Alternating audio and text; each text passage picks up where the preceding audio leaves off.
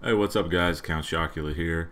Uh, just bringing you a really quick DCUO video today. Uh, they released the Valentine's Day feats today, so make sure that you log into your characters and this will happen. There's one feat, there's two feats. Hey look, three feats and I didn't even do anything. Feat number four.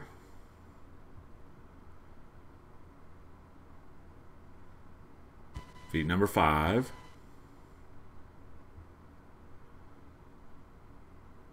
Feat number six.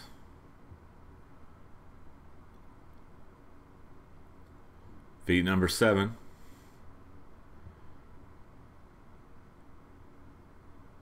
And there's the big boy right there.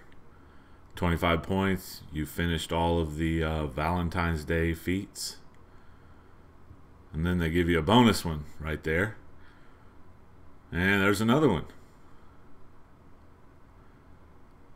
That's for getting the styles and the uh, Halloween candies, which a lot of the people that actually didn't run this event uh, didn't really earn those.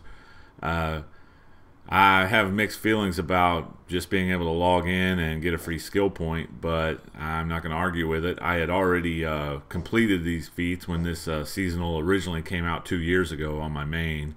So I went ahead and uh, logged into all my alts and uh, picked myself up a free skill point. So since SOE's uh, bending over backwards to uh, give away stuff to to players that are complaining on the forum. So I thought I would uh, take advantage of it. So, uh, so anyway, I'm gonna go spend my skill point here. So, um, thanks for watching, guys, and uh, look out for some more DCUO videos uh, just coming down the road. Thank you.